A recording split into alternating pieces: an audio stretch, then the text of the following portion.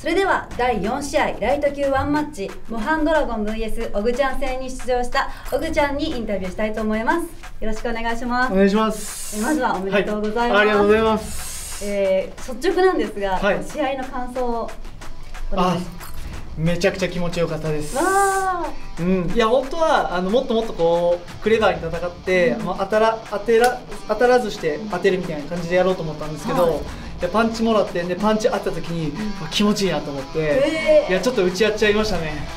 結構試合楽しめた感じ いやめちゃめちゃ楽しかったです。はい。それこそモハン選手は結構勢いがあるじゃないですか。ありますね。ねえ。はい。その部分はどうでしたか？試合してみて。そうですね。勢いあったんですけどしっかり蹴りで止めれたな。その上であのしっかり攻撃を自分の攻撃を当てれたなっていうのがあるのでそこの課課題はあのしっかりできたのかなと、はい、うん思います。なるほど、はいえー、モハンさんとやってみてこう、まあ、1分間という試合でうん。うん。どうでした、今までこ今までと、あのまあ、試合というよりか今までこういろいろドラマがあったうん。1分間なのでやっぱりこの1分間すごい濃密でしたうね。でもやっぱ楽しめたのはすごいですね、そうですね、うん。自分でもあのすごい緊張してたんですけど、はい。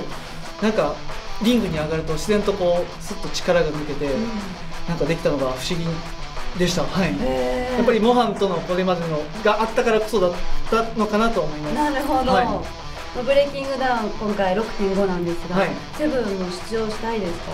いや自分はもうモハンとしっかり戦うことができたので、はい。これからはまあトレーナーとしあうん。のトレーナーやってるのでトレーナーとして選手のみんなをサポートしていきたいなと思ってます。ああ、はい。でもやっぱ試合に勝つとこうなんかはなんていうのうん。ありますよねトレーナーとして。そうですね。人気が出て、お客さんもいたらそうですね。やっぱりあのトレーナーってこう日の光を浴びることってほとんどないので、うんなんで自分がこうまあ選手をやってこう目立ってでその上でトレーナーをやってあトレーナーの仕事もすごいかっこいいんだなとか目指したいなって思われるようにやっていきたいなとずっと思ったんでなんでまあ自分が教えてることを実際試合でこうやってできるんだよっていうのをあのまあ試合で体現できたのは良かったのかなと思うので、確かに、はいちょっとだけいい背中を見せれたのかなと。確かに、はい。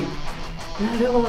では最後に、はい。えー皆さんに一言お願いしますはい、えー、と皆さん、あのここまで応援してくださってありがとうございました。